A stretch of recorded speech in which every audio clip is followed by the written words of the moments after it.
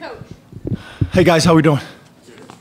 Appreciate everybody coming out to cover Penn State football. I want to obviously start by thanking the crowd. Um, I thought we had a great crowd for an, for an opening game.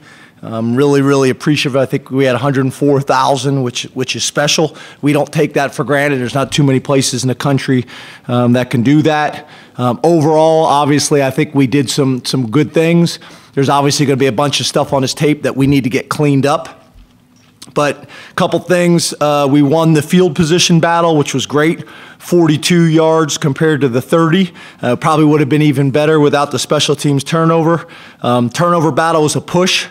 Um, penalty battle, we won that. We were three for 30 in an opening in an opening game. I think that's really good. They had 10. Um, and then explosive play battle. Both our offense and defense met their goal. Uh, I think we were 18% on offense and 7% on defense, so that's really good. Some specific points. You know, I thought obviously Jordan Stout's 53 yard field goal tied for the sixth longest in Penn State history, uh, which is fantastic. But he also had 13 touchbacks. I remember on the headset, the coaches were talking about, worried about Chisena being tired because he was on four special teams units. I said, well, what about Stout's leg? Um, he, he, had a really good game for us. Devyn Ford's 81 um, yard uh, run was, I think, the longest since Saquon's 92 yard run in the Fiesta Bowl. Uh, Yetur Gross Matos played really well, 49, 49 points in the first half, obviously. Um, I think was obviously a real positive for us. I think we haven't done that since Illinois, 56 points. Uh, 406 yards of total offense, just, just a lot of good things. John Reid with an interception. There was other things that kind of jumped out to me. Um, you know, having five running backs all score a touchdown, it was it was fantastic to see Nick Eury score a touchdown and how our sideline reacted. Um, I was a little worried we were going to get penalties because guys were running on the field without without helmets. Um, 35 first downs. You know, and then little things, you know, shorter running down the field, um, shielded, um, you know, shielded guys off, didn't clip, shielded guys off on the long touchdown run. I thought the defense really kept them on their heels all night. Their offense played within our system. Obviously, Castro Fields, we talk about championship habits. There's a ball on the ground. He scoops and scores. Just little things that I notice that I'm very, very pleased with. Um, you know, obviously, a lot of guys got a lot of really good experience.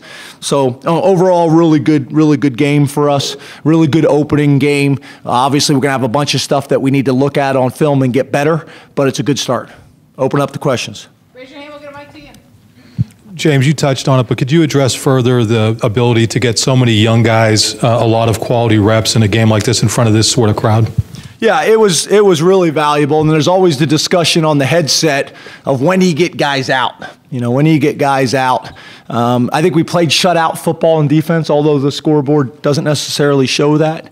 Um, but but I thought, you know, we were able to get, you know, like Lance Dixon and, and, and, and Brandon Smith, were able to get a bunch of reps, which was great. Adisa Isaac, a bunch of reps. Um, you know, a lot of guys, those young backs, I can go on and on. Uh, Salim Wormley, I mean, some guys even that we weren't planning on getting in there. So, um, you know, that's going to pay dividends not only this year but over over over the next couple years. Um, so, I, yeah, I think I think just tremendous. That's a tremendous positive. I don't know how many guys actually played in the game, but but it was a bunch.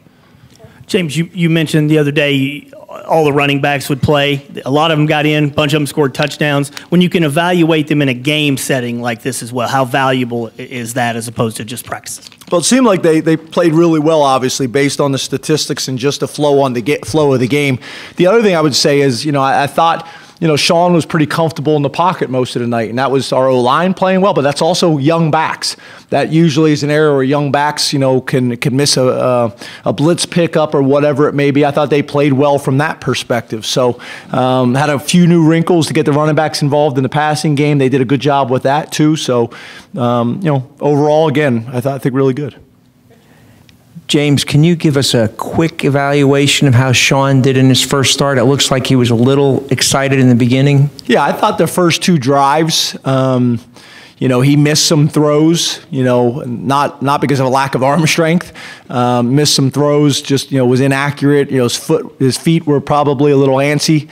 Um, but I thought I thought after those first two drives, and he even admitted that to me that he really settled down and got comfortable. So, um, you know, I thought he managed a game really well. You know, his, his stats, I wouldn't say are overly gaudy, but, but played well. You know, played really well, protected the football, was really good from a decision making process, was able to run the ball a little bit. And I think as the game went on, was accurate. I think, you know, one of the things that I think stood out to me, I, again, I haven't studied all the stats or the film yet, but we got to get better on third down. We weren't as good on third down as we need to be. And, um, you know, we'll, obviously that will be an emphasis, um, you know, to continue moving forward. Coach, how are you? Good, John. Good. Hey, how pleased are you with the overall performance of the wideouts today? Yeah, you know, again, you know, those guys, you know, you got you know two true redshirt freshmen that haven't played a whole lot of football, and Shorter and George, and I thought they did some really good things. And we were able to get a bunch of guys involved with Carr, and obviously. Um, KJ did some great things like everybody expects. You know, I thought early on with some of the punt returns, they obviously had a plan that they weren't going to let, you know, KJ win the game. Um, but I thought early on KJ was pressing a little bit, was getting frustrated, you know, wanted wanted to get some of those punt returns and some of those other things. But but uh, you know, we all know he's a weapon.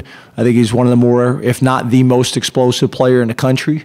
And we want to make sure that he's involved as a kick return, as a punt return. We kind of had a discussion that kick return to start the second half. You know, um, we wanted to get at least one rep with him as the kick return to get it on tape so we could we could work on it and clean some things up uh, for moving forward in the season. Um, but we had decided by that point to you know get him out of the game. So. Um, but I thought again, you know, I think overall, I thought the wideouts did did some really good things, and we got a lot of guys touches, and we got a lot of guys involved. Coach, uh, Pat Freiermuth took a big hit towards the end of the first half and was a bit slow to get up. And then obviously in the second half, you guys played Bowers a lot. Was that a situation where you felt he could have come back into the game if you guys had needed him? Yeah, I appreciate the question, but I, I don't get into uh, specifics when it comes to injuries. But I understand you got to ask. Coach, you mentioned uh, the reaction when Eury scored the touchdown. Can you talk about the quarterback that engineered the final drive and being able to put Michael into the game? Yeah. What did you say to him, and Yeah, were you happy yeah, to get him in He's the game? another guy. I mean, Shuster's been phenomenal. Um, you know, I think, uh, you know, I'm not sure if, if this is the right decision or not, but I think he's starting to kind of lean into maybe coaching. Um, he's got, he's already got a job offer, um, you know, in the real world. Um, but he just does a great job for us. He's like having another coach. Uh, takes a lot of pride in it. Uh, has been a fantastic student. Has been a fantastic teammate. Um, I'm a I'm a huge Shuster fan. You know, he, he brings a lot of value to our organization. He really does. Uh, where a lot of people probably wouldn't notice. It seems like we got a Shuster fan up there who's clapping. Yeah, yeah. Can you pass it to Audrey? Oh, Thanks. James, you mentioned that you wanted to get a lot of tackles involved, and you guys did, but later on you were able to move Dez, keep him at left, and put Rasheed over on the on the right side. What's the benefit of that as you guys work to try and get him more comfortable? Well, because you know, right now we, we got three tackles. We got to continue to get Caedan some experience, but we think we're going to play three tackles throughout the year. You know, we feel like Will can do both, but we think he's he's really a well, one of the better right tackles in the country. And then with with um, Rasheed, we think that's our answer at this point. Is he's the backup at right tackle, um, and Dez is the backup at left tackle. Dez is just much more comfortable at left tackle. Uh, we feel like Rasheed can do both. So that's why. And then as Caedan continues to gain experience, you know, hopefully we get in a situation where he, you know, ends up being the backup, a true backup, not just in depth chart, you know, by by maybe the third, fourth game of the season. Hey, James. Um, Yetur coming back off that suspension this summer. Seems like he picked up right where he left off. Couple sacks, two and a half, I think. Um, what, have you seen him attack these last five weeks or so since he rejoined the team? Yeah, he, he's been he's been really good. You know, he's been really good. Um, you know, I think you guys know what his motor is like. It jumps out to you on, on tape. Um, you know, he's really a guy that's a, a yes sir, no sir, hardworking. Um, he's been that way since the day he's really stepped on campus. Uh, and I think we all realize he's got tremendous potential, you know, and he's not a one dimensional guy. You know, some of these guys that put up gaudy stats with sacks and things like that, that's, that's what they are. Yetur is, is, is physical and, and as good against the run as he is in the passing game. Time for two more, Joe?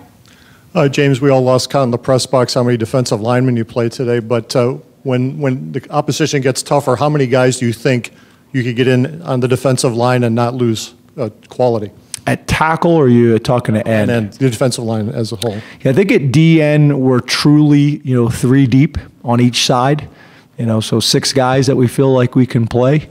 And then I think at defensive tackle, we're in that argument between five and six guys. And and the other thing is, you know, uh, you know, the reality is, you know, we gotta we gotta keep playing those guys to gain you know experience and to gain our trust.